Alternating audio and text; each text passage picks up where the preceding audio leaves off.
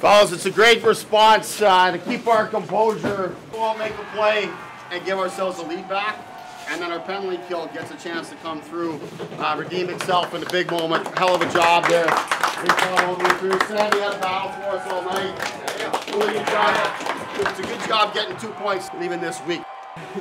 This one is going to Buttes.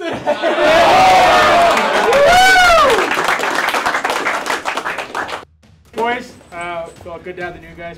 Uh, enjoy, recharge, and get back to work in Philly.